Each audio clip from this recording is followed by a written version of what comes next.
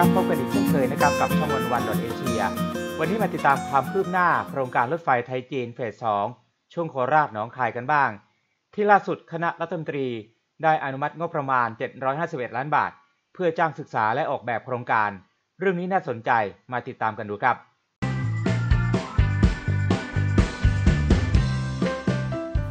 มีรายงานว่าเมื่อวันที่ 2 กรกฎาคม 2562 คณะรัฐมนตรีได้มีมติเห็นชอบก่อนหนี้ผูกพันข้ามปีงบประมาณ งบกลางรายจ่ายเงินสำรองจ่าย เพื่อกรณีฉุกเฉิน หรือจำเป็นวงเงิน 751 ล้านบาท เพื่อให้การรถไฟแห่งประเทศไทยดำเนินการจ้างที่ปรึกษา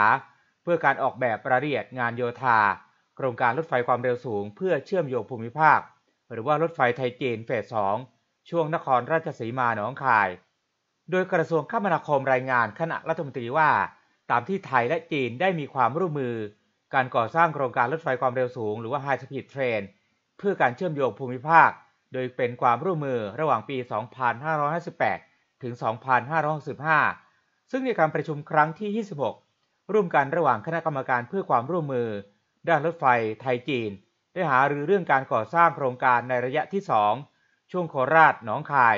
โดยฝ่ายไทยจะเป็นผู้รับผิดชอบการออกแบบรายละเอียดงานโยธา และทั้งสองฝ่ายจะพิจารณาความเหมาะสมในการดำเนินการของโครงการร่วมกันในระยะต่อไป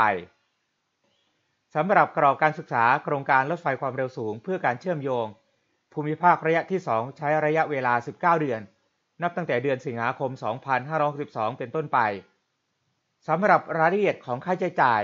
ในการจ้างที่ปรึกษาในโครงการนี้ประกอบด้วย 1. ค่าตอบแทนบุคลากร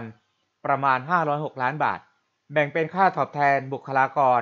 420 ล้านบาท และค่าใช้จ่ายบุคลากรสนับสนุนประมาณ 86 ล้านบาท และ 2. ค่าใช้จ่ายตรง แบ่งเป็นค่าใช้จ่ายในสำนักงานประมาณ 33 ล้านบาท และค่าใช้จ่ายงานสำรวจ ทดสอบและค่าใช้จ่ายตรงอื่น ๆ อีกประมาณ 161 ล้านบาท และ 3. ค่าภาษีมูลค่าเพิ่มอีกประมาณ 49 ล้านบาท ด้านนายอาคมเติมพิทยาภัยศิษย์ รัฐมนตรีว่าการกระทรวงคมนาคมก็บอกว่าสำหรับความคืบหน้าโครงการรถไฟความเร็วสูงระยะที่ 1 ช่วงกรุงเทพนครราชสีมา วงเงิน 125,000 ล้านบาท ที่เปิดการประมูลรวม 14 สัญญานั้น ตอนนี้ประมูลแล้วเสร็จและทยอยก่อสร้างไปแล้วทั้งหมด 8 สัญญา และจะเปิดประมูลอีก 6 สัญญาในเดือนกรกฎาคมนี้ และยืนยันว่าโครงการยังสามารถเดินได้ตามแผนที่วางไว้ และจะแล้วเสร็จตามกำหนดการในปี 2565 นี่เป็นความคืบหน้าโครงการรถไฟไทยจีน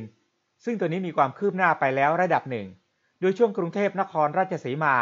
ทางด้านรัฐมนตรีว่าการกระทรวงคมนาคมก็บอกว่า จะแล้วเสร็จตามกำหนดในปี 2565 ส่วนช่วงโคราชหนองคาย ตอนนี้คณะรัฐมนตรีได้อนุมัติวงเงิน 751 ล้านบาท จ้างศึกษาและออกแบบแล้ว โดยจะใช้เวลาศึกษา 19 เดือน นับตั้งแต่เดือนสิงหาคม